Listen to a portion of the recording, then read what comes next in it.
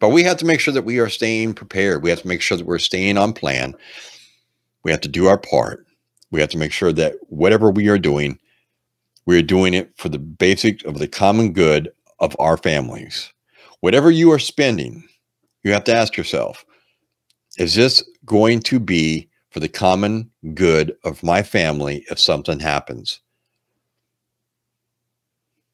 Ask yourself that. What will this do for me? If I'm spending X for Y, what will it do for me? How will it make me? How will it protect me? How will it feed me? Will it help me get through the situation? These are all questions you have to be asking yourself at this point in time, just because things are so expensive, folks. We're headed into an area that some people haven't even been through because they haven't even been around that long since 1981. I mean, they don't know what to do. They've never been through this. Maybe they read about it in some history books, or maybe somebody might have taught them something in school, or you know, in a, a history class or a uh, economics class or something. If they were lucky enough to get one of those. But the point being here is, you have to ask yourself these things. If you're buying something that's not food products that you can put away and store for a rainy day, and those rainy days, they're already here, folks. The flooding has begun.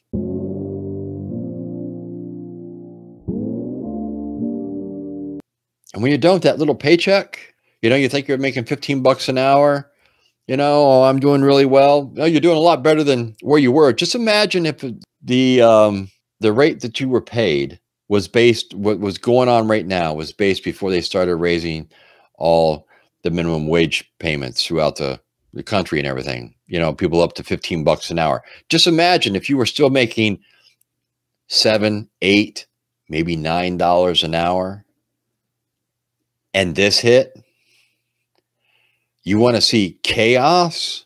You want to talk about millions of people, about reality sinking in? It would have sunk in like that instantly because nobody would have been able to afford food, gas, anything. Forget housing. You would have had millions and millions of Americans flooding the streets because they have nowhere else to go what are they going to do? Where are they going to go? They're working, but they were only making seven, eight, nine bucks an hour. At least now they're making 15. So that's a little bit better. You know, I don't know what it is in every state. Down here, it's 15 bucks an hour.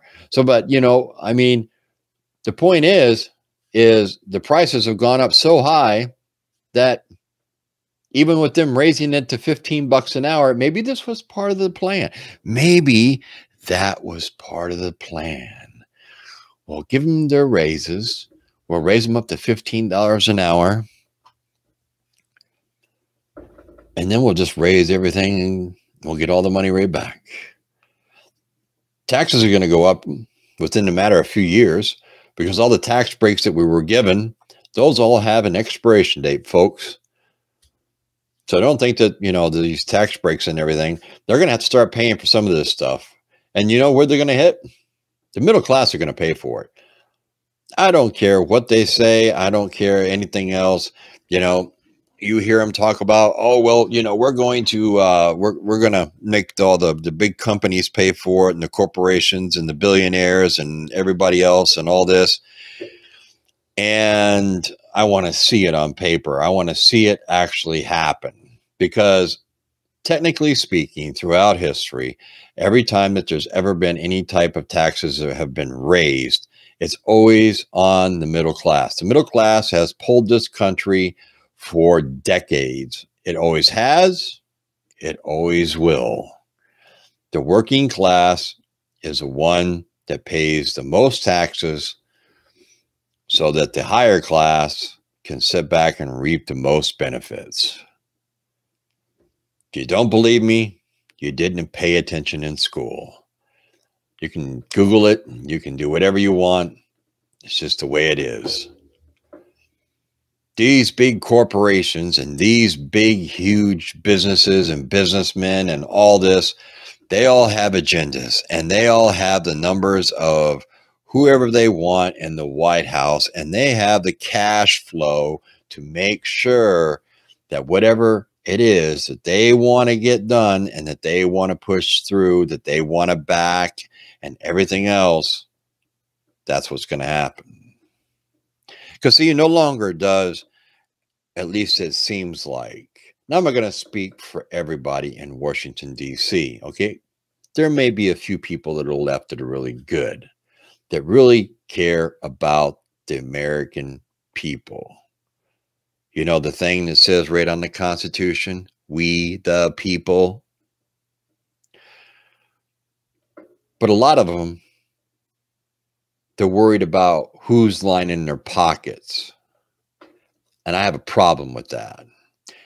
And everybody else should have a problem with that also, because when you turn around and you really think about what these people are doing to line their pockets and what they're doing to us American people, you and me, us, everybody out here watching. There's what? 1,417 people watching right now that I can see. All right. Us.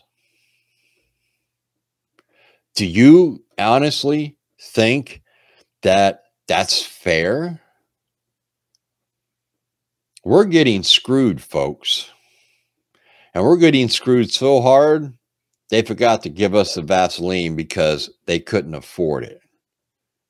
Do you under, all understand where I'm coming from? If you understand where I'm coming from, give me a number one. Do you understand where I'm coming from? Give me a number one. That we're getting screwed. The American people, we're getting screwed royally. And for what? For what? I haven't been able to figure that one out yet. And I've had people comment and everything else. Oh, you got to go, you know, look at this report and look at that report and do this and do that and everything else. And you know what? I'm telling you right now, we're still getting screwed. And what doesn't make sense is it's being allowed.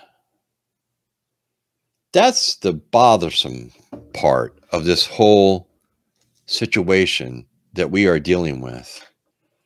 And the scary situation is it seems like whoever is in charge of this country, because I'm not sure who is, somebody doesn't care. Somebody has an agenda. I was taught when from a young little guy, always go with your gut feeling. Always stand believe what you really believe and you feel it in your heart because your gut never lies to you. And I've bucked my gut a couple of times and I paid the price. I learned the hard way. You know, when I was growing up, that's how you learned. You learned the hard way. Nowadays, everybody gets a trophy when they go and play a tournament. When I played basketball in high school, if we didn't win, you didn't get no trophy. You got a pat on the back from the coach. And the coach said, you know what? We'll practice and we'll be better and we'll beat them next time. That's how we learned the hard way. Sometimes I wish there were certain things that we could go back and we could keep and bring into the future. And that is something that I wish that we could, is actually people being taught that what you want out of life, you have to work for. It's not handed to you on a silver platter. You see, the older generation doesn't owe us younger generation anything. If anything, we owe the older generation a lot because they have taught us a lot throughout all the years for those who have paid attention. Now, by that I mean, We all had grandparents. Maybe some of your grandparents went through the Great Depression. I know mine did. They know a lot of stuff. I'd give anything for my grandparents to still be alive. I loved being around my grandparents. They lived in Michigan. And I remember going up there and I'd be sitting on the back stoop with my grandma, and my grandpa would bring a garden out of the garden green beans and bring them up and set them down on the stoop. And we'd sit there and we'd snip green beans, me and my grandmother. And I remember that like it was yesterday. And I was probably, I don't know, seven years old. But it's things like that that instilled things inside of me of what I do and how I live my life. I learned how to earn my keep. You know, we always had a, a huge garden when I was growing up. Um, we had to go out. You'd have to do weed eating. You had to go out. You had to cut the grass. You'd have to, you know, weed the garden. Harvest time, you got to help pick. Then you got to clean the garden out. You got to till the garden, get it ready for winter. Um, the whole nine years. There's always work to be done. And then mom would be inside. She would can, you know, a bunch of the stuff. You know, she had all the canning stuff because that's how she survived as a kid. Because my grandparents, that's what they did. They canned everything. My grandmother used to make 10 loaves of bread a day. Didn't go to the store and buy it, couldn't afford it.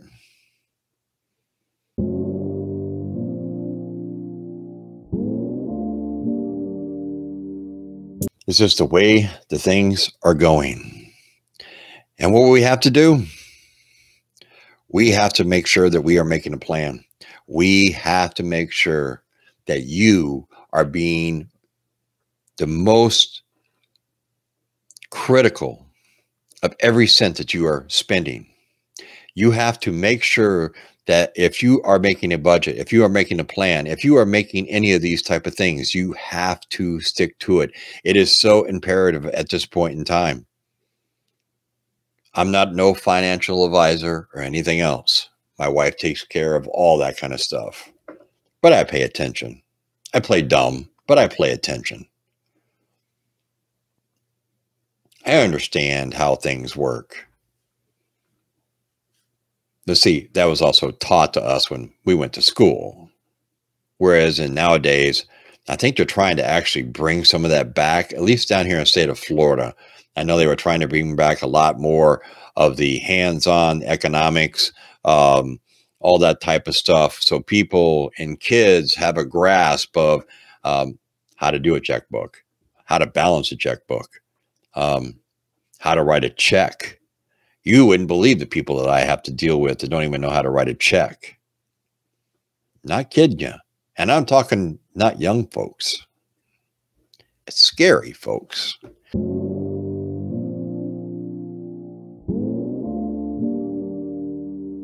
Except for out west. And it's dry as a bone. And everything is just drying up out there.